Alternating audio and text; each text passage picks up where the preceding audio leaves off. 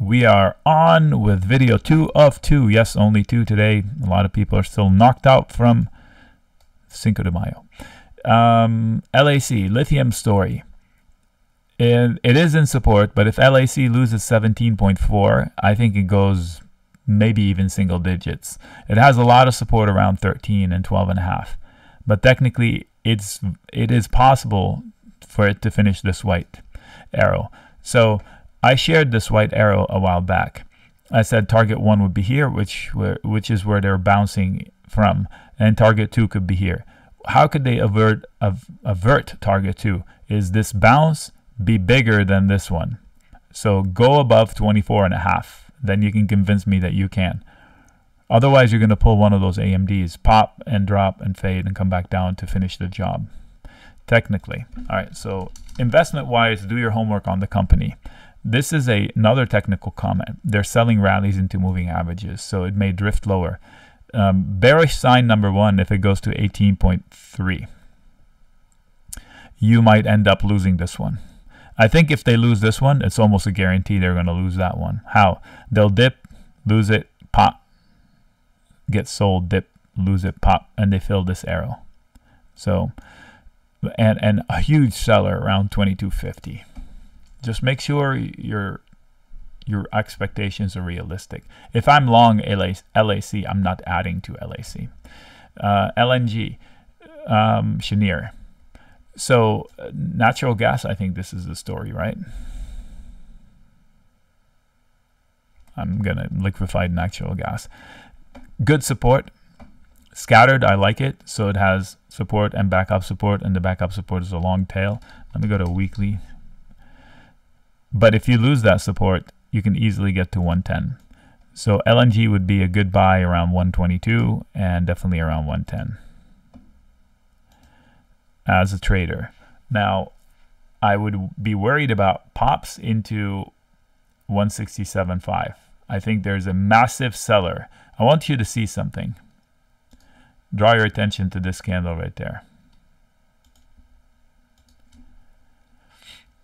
This candle right there. They call that a weekly doji. For a whole week, they were indecisive and they closed right there. And look at where they failed. Right there. Almost to a T. All these tails are inside that zone. So clearly, that line, 168 rounding, is pretty important. That's on a weekly basis. That's where that line is above. Repeat those same comments around uh, 159.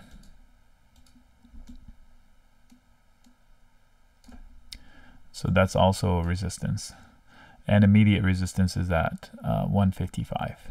So great support, tough resistance. Jacob. Okay. This one is in a breakout. Is that it? Yeah, it looks like a breakout. So this is one of those things where I say, why are you asking me? Permission to chase? Uh, not granted unless you want to. This is what I call THTH. It's too high to chase and too hot too short. So you missed it. Catch it on the rebound, on the bounce. If you know the business and you want to invest in it, please don't go all in. I wouldn't. You can do what you want. LTHM Livent. All right, so it looks like they respected support and they're trying to make higher highs. That's a good sign right there if they can get back above it. So 20, 24 rounding. If they can get to 25 this week would be outstanding without losing another low. Uh, then uh, the problem is 26.7. Anything above 26 is a problem. So you have room as long as they hold support. And if you lose that support, you're going to the low teens, which doesn't look like it's the scenario wow, look at the profits, the net income. What? Let's see here. That is a healthy P&L on face value. So whatever Livent does, it's legit.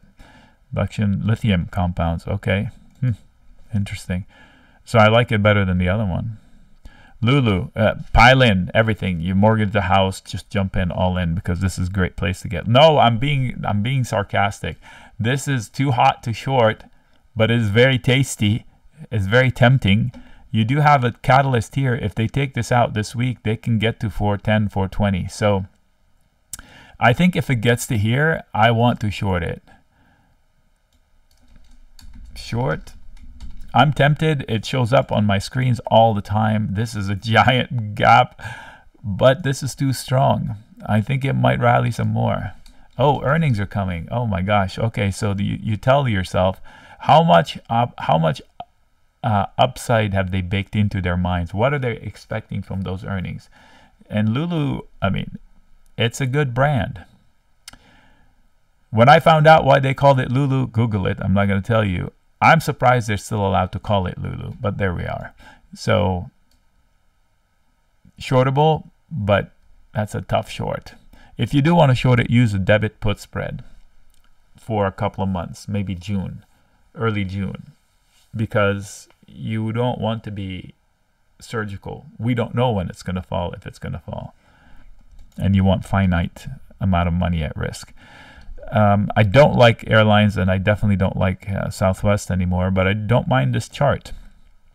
Like DAL, I think it had support and a lot of resistance. So you can consider this like huge sellers and this pretty strong support, but not huge. So there's nothing near term below here. So if for some reason they go below 29, they could lose two bucks. Whereas a rally will meet sellers that are right here from like a couple weeks ago. That's what I don't like about it. But it is tradable long with stops. That's what I'm saying. Make sure you stop yourself out if it doesn't work out. Lyft. Um, if you bought the dip here as a trader, great if you add it to your longs as an investor, then you saw something in the earnings that I didn't. So as a trade, I get it, but look at my target. It did have upside potential that it failed to fill completely, and then um, it and the scenario was it pops, it meanders, and then it comes back down to test this out. And then this showed up, so they kind of like wanted to do everything. This better hold, otherwise it'll be seven bucks and this I don't know what it's going to take to take this stuff out. This orange box is death for now. Okay, Mara. Um, I don't like to trade these companies because of the of the stuff they sell. Um, so everything is tied to something that they don't control the price of. And on top of it, you have to worry about the company itself. This is nothing you would look at the P&L and say, "Oh my gosh, no, it's not. It's it's a balance sheet story." So technically you have a seller at 11 and a trigger at 10.6. So you see the enticement, higher lows. So if I'm long, I can stay long. If I'm looking to invest in Mara, that's fine. Just make sure to know that it's pretty volatile. So don't go all in. just bites, bites. And if you're long Bito, then I don't think you need to be long in this one, right? This is a Bitcoin story, yeah. Meta. Um, don't fight meta because it's too high. The uh, the options reaction, the the earnings reaction probably gave you lines to trade for a long time. So the reaction and the earnings gave us all these peaks. So now we know that there is a seller, hard seller at 245. If for whatever reason it goes above 245, um, crossing above earnings, massive spike, fail. So then I'd know if they take it out, they're legit. They're going to 260, 270. So big gap below that it's enticing to short because of it. But you're you're combating the metaverse idea, which is a long time coming and it's an idea. It's hard to short an idea. Hopium is big with the idea. They don't need to be surgical. Oh, I don't care. In the future, it's going to be blah, blah, blah, blah, blah. They could be right. So don't short it because the stock looks extended. MPW. Tough seller at 9, tough buyer at, at 8. Ping pong between the two, and if they take one, they go in that direction. Merck.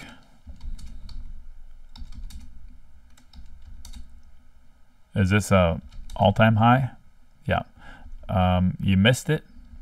You can be long it if you're in trader, but it's THTH, too high to chase and too hot to short. If you're asking permission to book profits, uh, profits uh, permission granted. NRG, if this line fails, this is a weekly chart, so this is a slow moving piece here. If 30.2 fails on a weekly basis, it probably goes to 22, but with a lot of buyers at 28, 29, and scattered buyers here. This is a weekly comment, so let's zoom in. Uh, you could get to 33, and then you're going to be met with sellers. What happens there? Hard bounce, I get it. If you lose 30.3, I think you go to 28.50.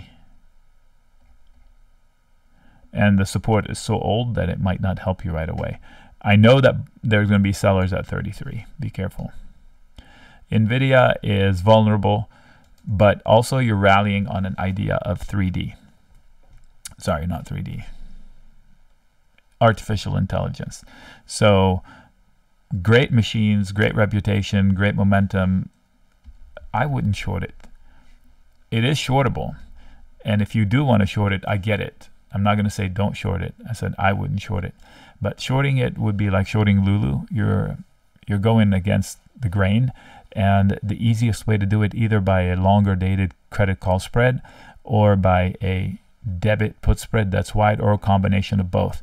So like Raghu likes to do, uh, buy something but finance it with something else. So let's say you wanted to risk $2,000.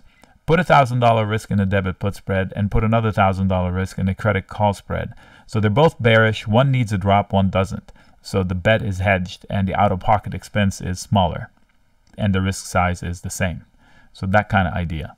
I wouldn't short the stock outright. That's insanity.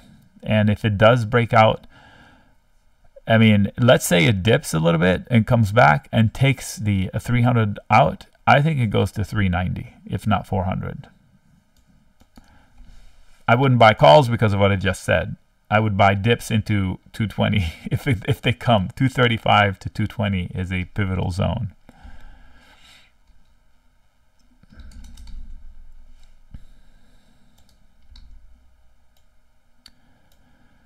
You guys um, find these ET, obscure ETFs. I sure hope you're not using options to trade these because there's no way these options are liquid enough for me not to be at risk. Uh, 48 is a catalyst up to say 49.50. You have a pretty strong buyer at 46. I would be shocked if it loses it. What is this? How can an ETF do this? See, if I see an ETF and it does this where it drops 4% and recovers in the same day, easy to buy. But what is this? How can you explain an ETF doing this and still respect it? It's just bizarre. Hard to get rid of, so it's manipulated. Yeah, so stay away from it. Stay away from it. What can you do with this that you can't do with the SPY or something, whatever it is? Oracle. Not an obvious entry point. This is a weekly candle you have a very, very green week. I mean, my goodness, this one 18% weak in Oracle and then immediately gives it back up and never recovers it. And then now finally you're in the middle of it. So I would imagine this is a tough spot. Anything above 100 is going to be difficult. If it gets to 108, it's definitely shortable with a stop. If it goes above 108, I'm out. Okay. Oracle is an ancient company, so don't argue with it too much. They've been around the block, they've survived a lot. So uh, just that, it's not that exciting P&L, I think. It's solid P&L, so you can't short it with conviction, is what I'm saying. Buy the dip mode, 93 maybe, 90 better for me. Uh, Palo Alto Networks. Did we trade it? Why do I want to say yes? Maybe, maybe not. Sellers into 187 and 190. So if you get there, the closer you get there, the smaller the opportunity it is. Then you would be in a buy to dip mode. So if this dips towards 180 and 178, yes, get long and stop out below 176. Losing 176, it probably takes it to 164. Yeah, I said it. there. Oh my gosh. Oh, are you serious? Look at this. Perfect price action. So this was our forecast. It came pretty close. It can still finish the job. How? Let's say this rally here has sellers. Like I told you, there's going to be sellers here. And it, and it curls up for, for some reason and it does this. It will finish the job. I'll just put it here. Okay, so there's going to be sellers, is what I'm saying.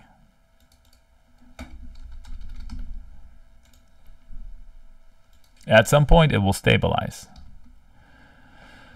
Uh, Paramount. Uh, I'm reading some bad stuff about Paramount. uh, leave it alone. If you're stuck in it, I would manage my exit point somewhere. Pretty hard bounce levels, but if for some reason you lose 15.3, you're probably going single digits uh, eventually. There's going to be a lot of sellers everywhere. Not for me, for sure. I read that they uh, they lose a lot of money and they're like the fifth or sixth largest streaming platform.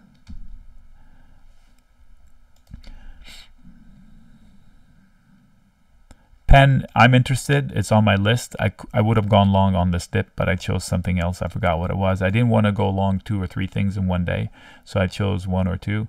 Penn is on it. Penn has good business. It fell. They they they grew business, and they forecasted the same. And because they didn't raise their forecast, they sold the stock down whatever 13%. Good solid business. The danger is, if it loses last week's lows, you may be able to enter it at 22. What? Yeah. Um, I would do a credit put spread or a sold put to own shares. I can start with a credit put spread, and in middle of the week, if I think we're going to be okay, I would sell the protective put for extra credits. So turn it into a sold naked put. Good business though. I mean, it's a the P&L is good. And they, they they do have brick and mortar business too. Pinterest, you could convince me to go along. It's like Etsy and like um, the one we were just on, Penn. I wouldn't go long everything, so I just didn't have enough things to go along. I mean, at the same time, um, 1819 should be bulletproof, and it's at 21. So if I sell a put in the 1819 area and I get a sign, not a big deal. Rallies are going to be labored, so I don't expect upside. If it comes over time, that's great. Uh, Pub M.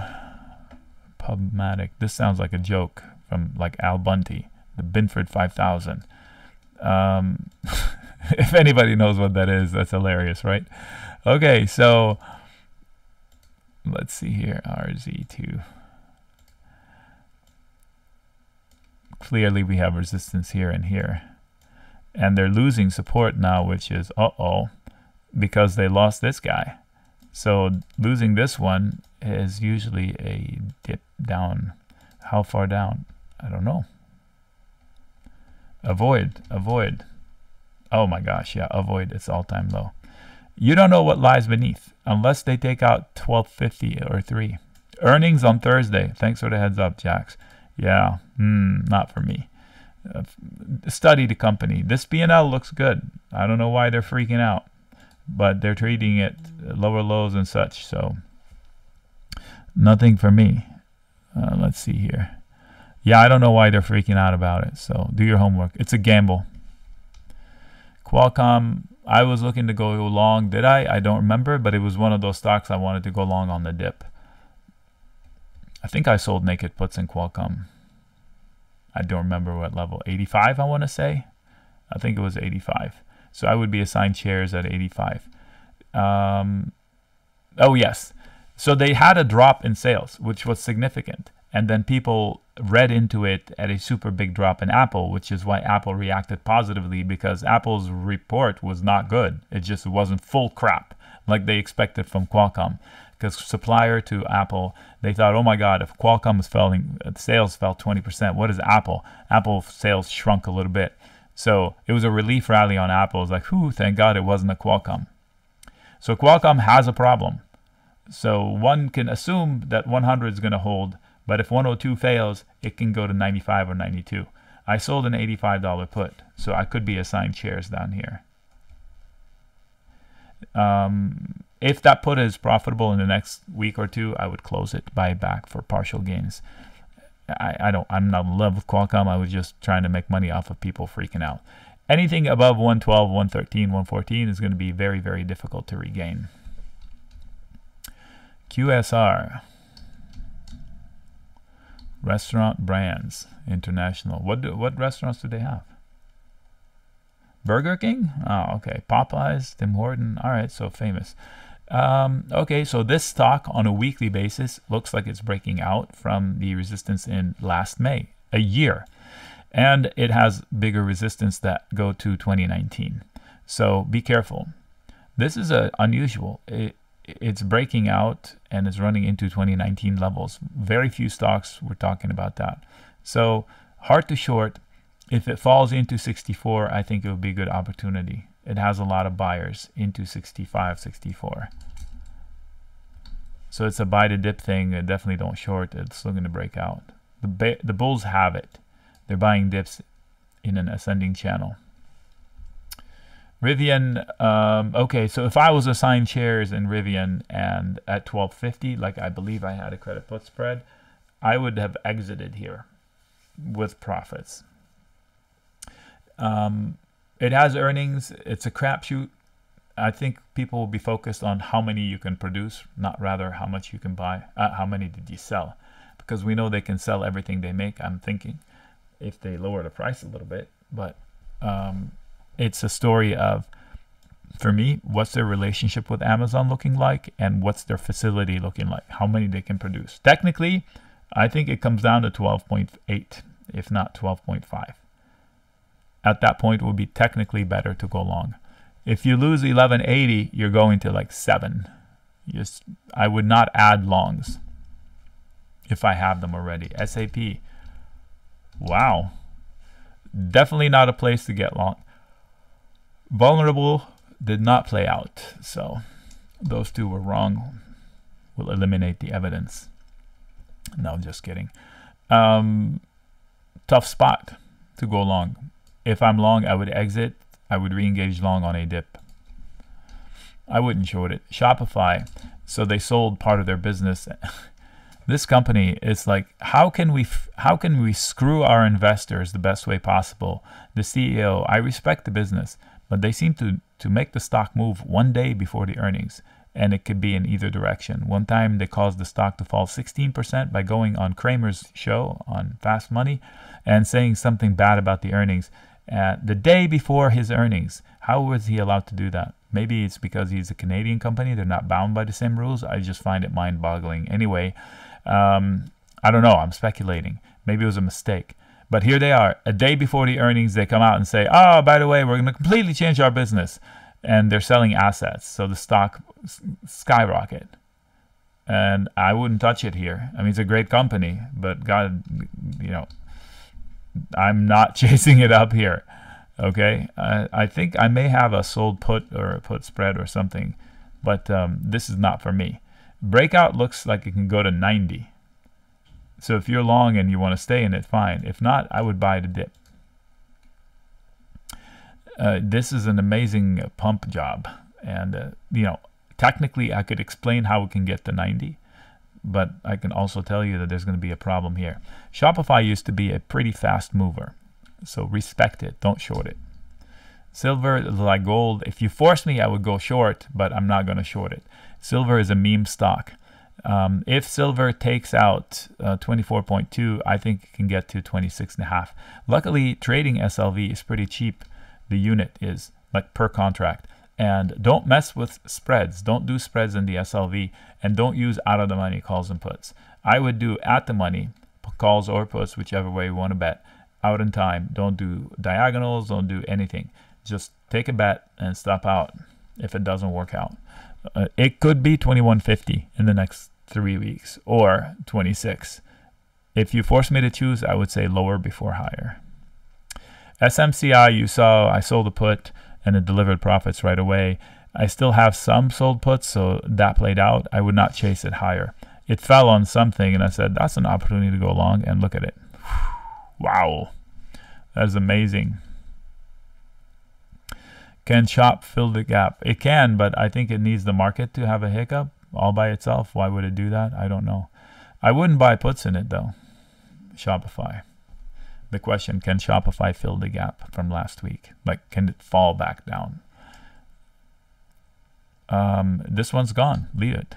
SoFi. Uh, okay, so here's SoFi. I said go out and buy shares. And then the next day it fell apart because of the whole market dizzy. And I hadn't bought shares. So I went out and bought shares the next day. So I got a better entry point.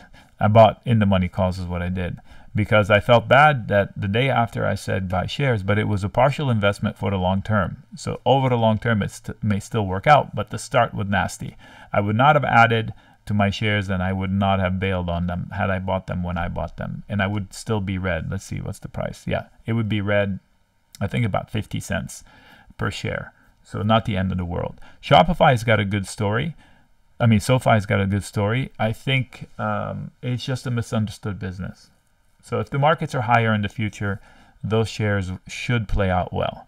If I have enough, maybe I would consider selling covered calls, but I don't know if it has enough premiums. So this is a base. I if I'm long, I would stay long, and I am long. Square, I am long by sold put. I would do it again. Um, this was the Hindenburg headline, so you have to pay attention to it um, Hindenburg headline, and then a whole bunch of uh, support below it from the October correction. I would sell square puts with confidence.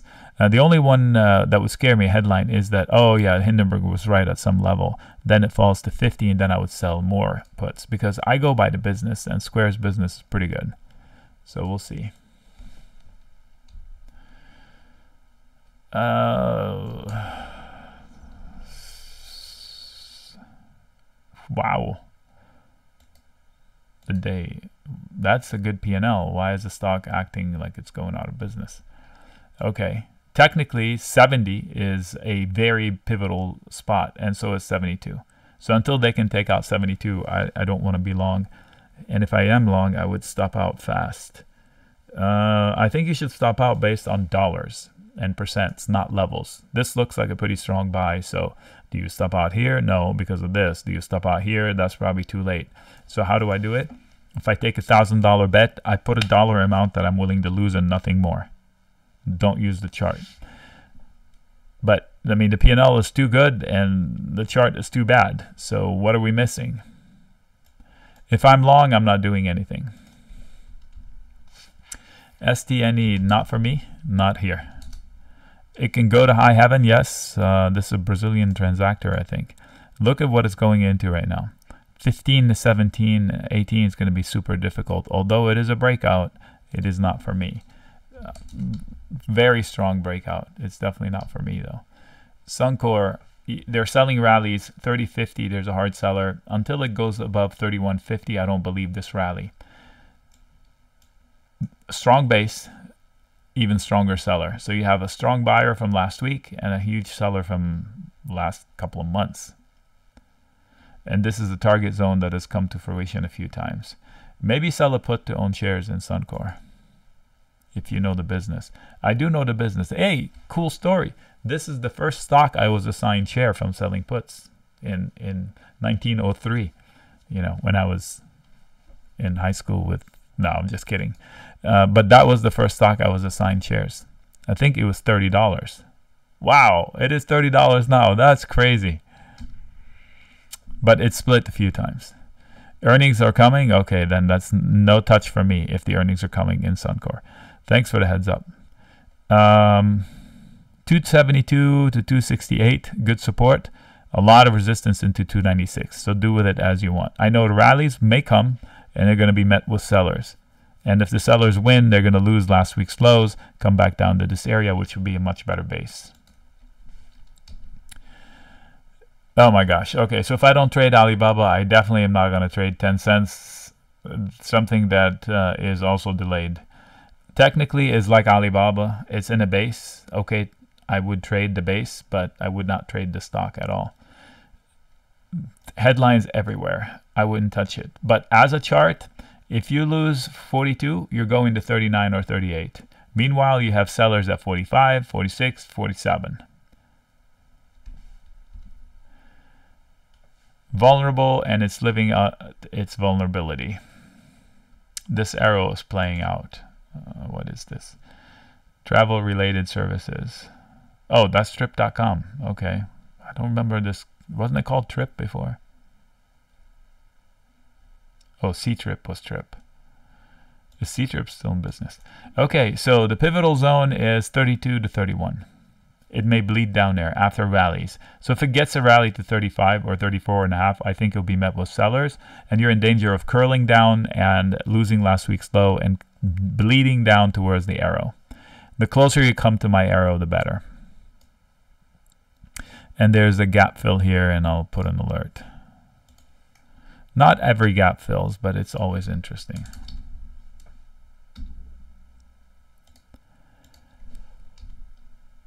So Jacob asked earlier, can it come back and fill the gap? So Jacob, not every gap fills, but if we're headed in the direction of a gap, the gap becomes a magnet. But if we're running away from it, if we're rallying and there's a gap below, the gap is not a reason for the price to come back down. But if we start coming back down, the gap becomes a magnet. That's my interpretation of gaps. Uh, okay, team. Went long team, sold the 144 put. I would sell it again. So if we dip into 130 or 125 this year, this week, I may re-engage by selling another put. The first trade worked. I'm aware that if they lose this support, they can go much, much lower, but that is not a likely story unless the market also curls back down. Uh, so if I'm long, I would exit if I lose that level. Otherwise, I would expect sellers at 145 and 150. TQQQ. So this is the story of the NASDAQ. Um, I wouldn't touch the TQs. You guys love them. Uh, do it. I wouldn't do spreads. Just buy it and and and um, buy it shares or buy calls in the money or at the money, or puts, whichever when I cannot explain the logic behind how it does not track, the thing is supposed to track well, then I don't want to touch it. And it doesn't track the QQQ. If it did, it wouldn't be at the same level it is right now. Anyway, any high above the last high that we've had will get you quite a bounce. 30, 50, 31 are doable this week, just as is 25 and a half. If we go to 25 and a half, it's catchable with stops because if we lose 25.1.2, we may come down to here. So, which means the NASDAQ is correcting 10%. So we have a breakout, 3 to 5% breakout versus a bunch of support scattered that could end up being down 10% in the NASDAQ, which means we need a headline. So the upside is more probable than the downside. So if you're holding calls, I don't blame you. I am long the IWM, so you and I are on the same boat, as I've disclosed already. Who is this? Tesla. I'm long Tesla by short a put, and I shared it with you, several of them. Uh, I shared probably five or six trades on Tesla this year. Haven't lost once. In fact, I cannot even remember the last time I lost money on Tesla because I traded very consistently. When everybody hates it, I sell puts in it or put spreads to own shares, and that's it. And they all panned out. Um, at some point, Elon would leave and that stock will get collapsed. Uh, so I will probably be caught like FRC to a degree. But until now, it's working fine. Um, rallies are being sold inside of a descending channel. Respect it. So you're going to have resistance into 176. You do have solid support. There is a big gap down in the 40s. So if it falls to 144, it's not surprising. I was expecting it. But last week, the way it ended on Thursday, Friday, they broke out from a prior fail, which gives this uh, turns this area into support again. It was iffy, but now it's back into support. TTD, um, long-term pivot. So taking longs here, you should know that it's a trade. And first, if you take this out, you have a chance at taking this out. But these are two strong sellers. So it has a lot of resistance, but it does have a lot of support and higher lows. So I see that I see it. Range is going like this, getting tighter and tighter and tighter, boop, at some point, or dip to get a better base. So for me, if it falls into 59 or even lower, it's an opportunity to engage in, on the long side. And uh, the breakout will come eventually if markets allow it. Twilio has earnings, otherwise I would not I, I would not hesitate to go long on this dip. I refrained so we'll see what Twilio does. Um, I don't want to sell naked puts into the earnings. Otherwise, I would have done. I would have done it three days ago. Here, I was very tempted, but uh, I had sold puts years and years ago at 25, and it fell into my puts, and I made money, but it was by miracle. So I guess I'm still bruised. my my memory of it. Uh, 54, 55, 56 sellers. What happens on the dip is the question. If they hold 51, I think they get to 59 in the next couple of months. U U U U. What is that? Mining development company engages in the exploration evaluation of uranium. Oh my gosh. Okay. Uh, breakout. Breakout. Don't stand in its way. It might be going to 6.4. So any dip is an opportunity to stay long or engage in it long because it might curl up here. Having taken these two out and this one with confidence makes them a base. So any dip into 5.6, 5.7 should find buyers and they should be able to curl back up and attack this area and finish the job. Should, should, should. We'll see. This guy has sellers. You can see how they're selling rallies. Um, the proof is in the pudding. If they can hold 13.4, 13.3, and take out 14.6, I believe that they may be done. Otherwise, they they they hit our target and then some. There are sellers here, so there's going to be sellers and support. So that's the battle. What are these boxes say? Long-term base, target one. So we got the target one, and long-term base. So if I'm long, I can stay long.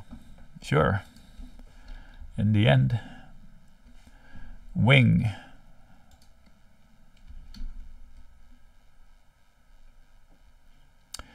Uh, somebody was trading this one. Gint, are you here?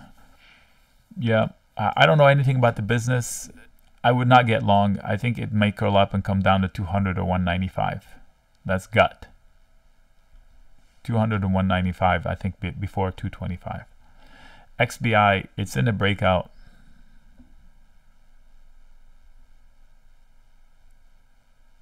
Oh my God, energy? No, not for me. Um, which means inflation is going to get a lot worse, which means all stocks will fall.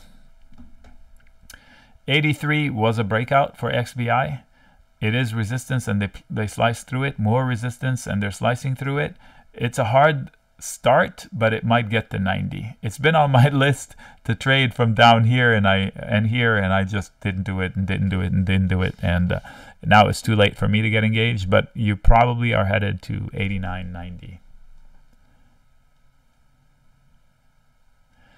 XLI, the industrials, so violent these days.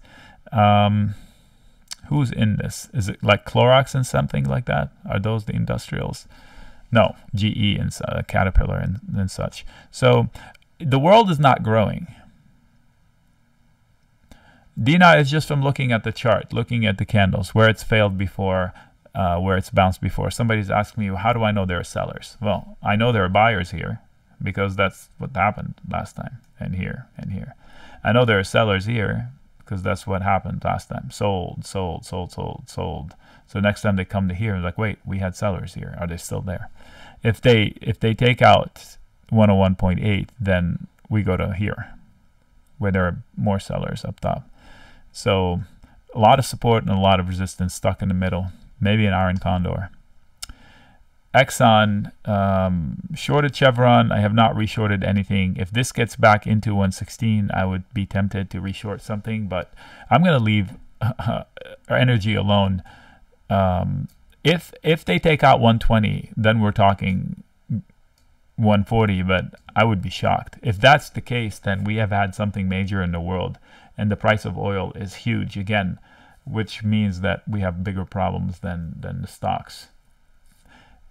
I think if you're pro lower inflation, you want these stocks to fail because the biggest component, well, a large component of inflation is the power, the, the energy prices. It affects everything we buy, everything, in on multiple points. So let's hope these guys fall, which means that everything else can flourish.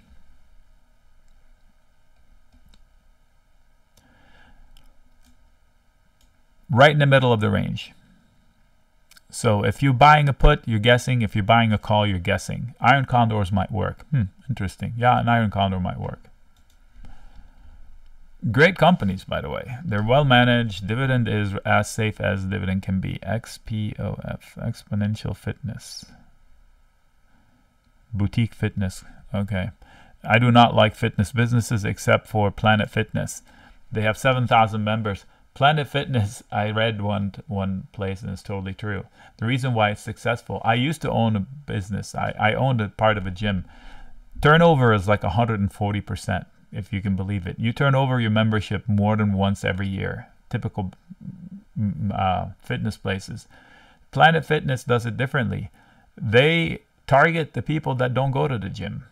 So they they can have 7,000, 8,000 members in one gym because they don't go. It's not an issue. Other gyms they have a limit of like 400, 500 maximum. So that they have a capacity problem. Whereas Planet Fitness they, they, they get the money low amounts with high numbers because they get everybody that says they have a gym membership but they don't go. So that's the secret. I don't know anything about this one. Technically, uh, 27 looks like pivotal. So it fell into support. From a technical perspective, you can say, okay, I wouldn't get out of my longs, but I know that a bounce will have sellers at 32. Gyms are a business, a day-to-day business. Planet Fitness with 7,000 members each store, they can make money. Oh, that's it. We okay, we have a request. Let's look at the VIX. All right, I'm not sure what we want to look at the VIX. The VIX is pretty low, a lot lower than its average. So, which tells me that the VIX is pricing the S&P fear by the market maker. They're worried about 28 days out. So it's not looking for the fear now, it's looking for the fear 28 days out. So if it's low, that means the market makers are saying or suggesting that they feel that it's whatever is going on here. If we have hiccups, don't worry about it. 28 days out, everything will be fine. That's how I read it. So I'm not sure what else you want to see. This is a baseline. If I needed insurance for my assets, this is pretty pretty cheap pretty cheap way of covering my assets. SAP TSX. TSX. Oh, oh, oh, oh. Um, this one? Or the SAP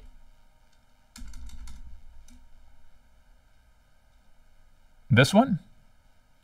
Okay.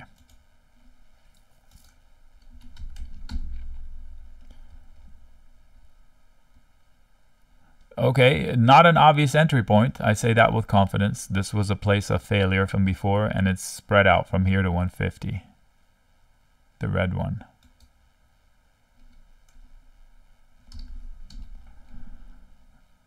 This one. The Toronto Stock Exchange. Same comment. Um, you have a lot of sellers above, 36 to 37 and it looks like you have a pretty strong buyer into 32 scattered. So if it falls into 32, somebody wants to get long for a swing back up, that's fine from a technical perspective. Uh, you have more buyers at 30. So pretty strong support below and decent resistance, but not insurmountable. So if they take out 38, they can get to 42. Okay, we are done. This was quick. I have to get ready for another presentation. After this, I have a small break in between. Thank you for being here. Um, hopefully, we will have a good week in the market. Happy Sunday. Hopefully, we won't have another bank fail. You're welcome. Thank you for being here. I appreciate it. Will do. And Ragu, don't worry about it. Tomorrow will be fine. we are forgiving. You're welcome, Lou. Joseph. Hey, Billy and D. You too. Have a good day. See you later, Tim. Jacob, thanks for the um, back and forth. You're welcome, Susan. Mr. Knutson. Later, Carla. Happy Sunday to you too. All right, let's go do something fun. Goldman Sachs and JP Morgan took care of that issue for the Fed. Yes, really. Um, just I can promote you right here, right now. Let me stop recording.